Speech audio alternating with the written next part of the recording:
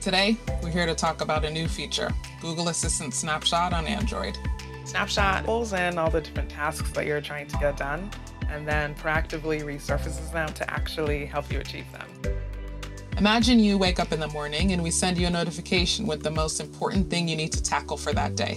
We can send you an alert and say, hey, your package is arriving later today, or remember to grab that delivery slot for your groceries, or that new online fitness class that you've been following has been posted for next week.